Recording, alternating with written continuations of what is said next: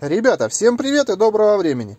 Возвращаясь утром с ночного дежурства домой, попали в такую неприятную ситуацию. Подскажите, кто-нибудь из вас сталкивался с таким и как вообще происходило это дело? Остался,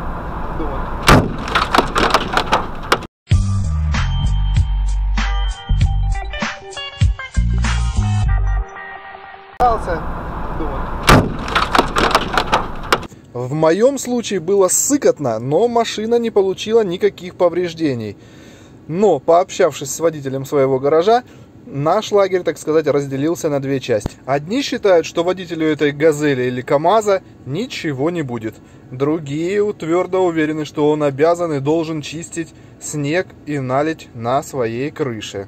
Почитав много разной информации в интернете, я понял одно, что водитель должен обеспечивать безопасность дорож... дорожного движения. А как раз этот лед на крыше, он и является безопасностью дорожного движения. И вот тут вот самое главное, если у вас будет видеорегистратор и вот такая вот запись, то суд и ГИБДД станет на вашу сторону и взыщет с этого водителя штраф и ремонт вашего автомобиля. Но самое важное, помните, в какой стране вы живете, потому что в некоторых странах водители обязаны чистить налить и снег на своих крышах.